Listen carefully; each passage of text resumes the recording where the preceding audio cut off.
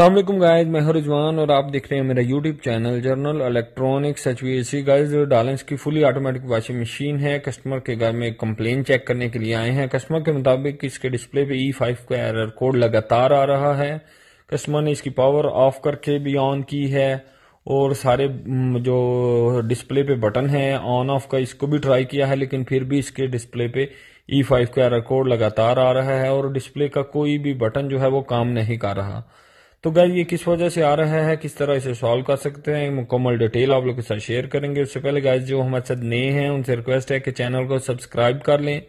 Bell icon को press करके आल ज़रूर प्रेस कर लें, ताकि हर आने वाली वीडियो का नोटिफिकेशन आप लोग को मिल सके। तो गाइज़ ई फाइव का एरर कोड जैसा कि आपको डिस्प्ले पे शो हो रहा है।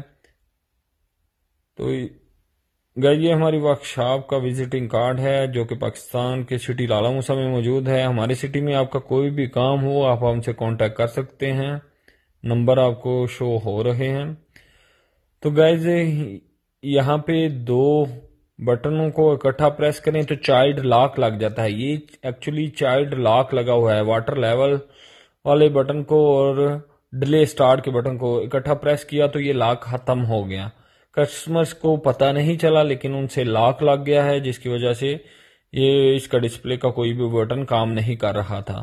तो अब देखें स्टार्ट हो गई है मशीन डिस्प्ले पे 44 मिनट्स आने शुरू हो गए हैं तो ये जस्ट लॉक लगा हुआ था, जिसकी वजह से ई e फाइव का रिकॉर्ड आ रहा तो इन दोनों को दोबारा जब हमने प्रेस किया तो देखें ई e फाइव दोबारा आना शुरू हो गया।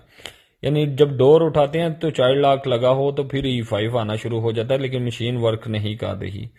तो ये आप देख सकते हैं इन दोनों बटनों को प्रेस करने से ये खत्म भी हो जाता है। तो गाइज़ वीडियो अच्छी लगे तो वीडियो को लाइक करें और शेयर करें।